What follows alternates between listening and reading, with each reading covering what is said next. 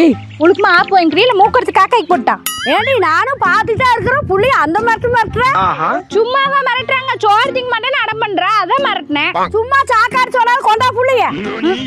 இந்தாங்க. போச்சா சாமி அம்மா அடிச்சு போடலாம் சரி சாமி நீ போய் விளையாடுவோம் நானும் தான் ரெண்டு வயலை பெத்து வளர்த்தினேன். ஒரு நாளும் மிரட்டினது இல்ல ஆமாமா என்ன மிரட்டினதெல்லாம் இல்ல. ஆனா என்ன அடிச்சு தோல் உரிச்சு தொங்க மட்டும்தான் விடல. என்னங்க சொல்றீங்க? அத்தவங்க சின்ன வயசுல அடிச்சிருக்காங்களா? அடிச்சாங்களா? அதெல்லாம் பொழந்து கட்டுவாங்க. ஆமா அப்புறம் குருவன்னு அடிக்காம கொஞ்சம் வாங்கடா எது? ஏனுங்க தேன பாப்பாவை சும்மா விளையாட்டுக்கு ரெண்டு மிரட்டு மிரட்டினதுக்கு அந்த பேச்சு பேசுனீங்க? இப்போ உங்க பையன் என்ன இப்படி சொல்றாரு? அதுதான் நான் சொன்னேன்ல குருவணி இருப்பேன் அதனால ரெண்டு வச்சிருப்பேன். அதெல்லாம் பொய்யாயிசு நான் அந்த அளவுக்குலாம் குறும் பண்ணதே இல்ல. அதுதானே? ஏனுங்க தே நீங்க அன்னைக்கு பாப்பா வச்சிருக்கும் போது ரொம்ப குறும் பண்றான்னு ஒன்று சொன்னீங்களே. நானும் தான் ரெண்டு பசங்களை பெத்த இத்தனை குறும் பண்ணாங்களான்னு. ஆனா குறும்பு பண்ணி அடிச்சிருந்தாங்கன்னா கூட பரவாயில்ல. எதுக்கெல்லாம் அடிச்சாங்க தெரியுமா? சொன்னா தானே தெரியும் சொல்லுங்க. சொல்றேன் கேளு. ஊர்ல இருக்கிற பசங்களோட போய் கொஞ்ச நேரம் விளையாண்டு வந்தா ஏன்டா வீட்ல கம்முன் இருக்க மாட்டியா? வெயில்ல போய் ஊரை சுத்திட்டு வந்தேன்னு சொல்லி அடிப்பாங்க. சரி வீட்லயே கம்முன் இருக்கலாம்னு இருந்தோம்னா ஏன்டா வெளியே வர பசங்க எப்படி ஓடி ஆடி தெரியுது? நீ ஏன்னா வீட்டுக்குள்ள அடக்கோழி மாதிரியே உட்காந்துருக்குன்னு சொல்லி அடிப்பாங்க. அட தண்ணி வாத்துக்கிறதுக்கு போயிட்டு சீக்கிரமா வந்துட்டுனா. ஏன்டா நீ என்ன காக்கா குழியில குளிச்சு அதுக்குள்ள வந்துட்டு அடி சரின்னு தண்ணி வாத்துட்டு கொஞ்சம் பொறுமையா வந்தோம்னா ஏன்டா ஒரு மனுஷன் என்ன வரைக்குமா பாத்ரூம் இருப்பான்னு சொல்லிட்டு அடி. அப்புறம்? அப்புறம் கோயில்ல சாமிக்கு சக்கரை பொங்கல் வைப்போம்ல அதுல துளிவேல் நக்கி பார்த்துட்டா ஏன்டா சாமிக்கு என்ன சக்கரை பொங்கல் படைக்கவே இல்லை? அதுக்குள்ள திங்கிறேன்னு அடி.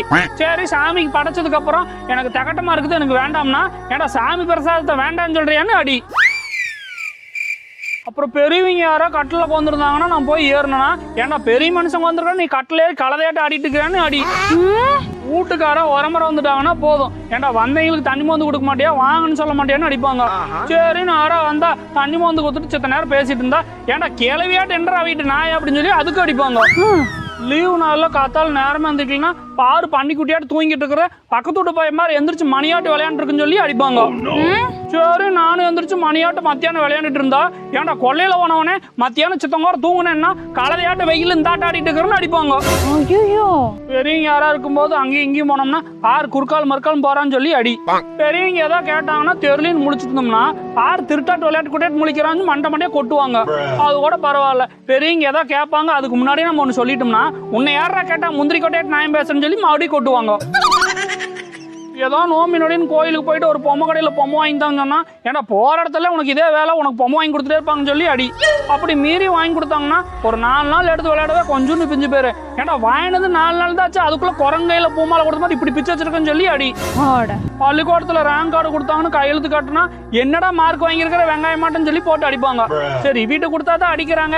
நாம அவியல மாதிரியே கையெழுத்து போட்டுடலாம்னு போட்டு கொண்டே கொடுத்து கண்டுபிடிச்சிட்டாங்களால நீ என்ன தைரியம் இருந்தால் என்ன மாதிரி கையெழுத்து போடுன்னு சொல்லி போட்டு சாத்துவாங்க. அப்புறம் பள்ளிக்கூடம் போகிறப்ப கடுத்தாரில் போய் சாணி ஒழிக்க மாட்டேன்னு சொல்லிட்டுனா ஆமாம் பெரிய கலெக்டருக்கு படிக்கிற சாணி ஒழிக்க மாட்டானான்னு சொல்லி அடிப்பாங்க. சரி எனக்கு பள்ளிக்கூடம் போகிறதுக்கு பிடிக்கலன்னு சொல்லிட்டு மாட்டை கிட்ட மேய்ச்சிட்டு வீட்லயே இருந்துட்டு சாணி ஒழிச்சிட்டு இருக்கிறேன்னா ஏன்டா படிக்கிற வயசில் பண்ணி மேய்க்கிறத உனக்கு வேலைன்னு சொல்லி அடிப்பாங்க. ஃப்ரெண்டு வீட்டில் சாப்பிட்டு வந்துட்டா அதுக்கு அடி. நம்ம வீட்டில் சாப்பிடலின்னா அடி. சாப்பிடும்போது மறுசோறு வாங்கிக்கலன்னா அடி. சாப்பிடும்போது மறுக்க ஒரு தோசை கேட்டால் அடி. சாப்பிட்ட தட்டை நக்கிட்டு இருந்தால் அடி. நக்கின தட்டை கழுவுலினா அடி. கழுவுன தட்டை கீழே போட்டால் அதுக்கு அடி. அப்புறம் விளையாடும் போது நான் யாராச்சும் தெரியாமல் தள்ளி விட்டுனா கூட எனக்கு தான் அடி. அதே மாதிரி விளையாடும் போது என்ன யாராச்சும் தள்ளி விட்டாங்கனாலும் எனக்கு தான் அடி. அப்புறம் அடி வாங்கிட்டு உட்காந்து அழுதுட்டு இருந்தா ஏன்டா நான் அடிச்சு என்ன யாராச்சும் இன்னும் உட்காந்து அழுதுட்டு இருக்கிறேன்னு அடி. சரி அடி வாங்கிட்டு அழுவாம தான் இருப்போம்னு உட்காந்துருந்தா இத்தனை அடி வாங்கிட்டு கல் மாதிரி உட்காந்துருக்கிறாமான்னு சொல்லி மோடி அடி. இதெல்லாம் கூட பரவாயில்ல. இவங்க மிரட்டினாங்கன்னு சொல்லி அழுதுட்டு இருந்தா ஏன்டா நான் அடிக்கவே இல்லை நீ உட்காந்து ஓலைய விட்டுருக்கிறேன்னு சொல்லி பிடிச்சாத்துவாங்க. போதுங்க போதும். ஏனுங்க தே அவர் சின்ன வயசுல இத்தான் அடி அடிச்சு போட்டு நான் என்ற பசங்களை சிம்முனது கூட இல்லைன்னு புரட்டி விடுறீங்க?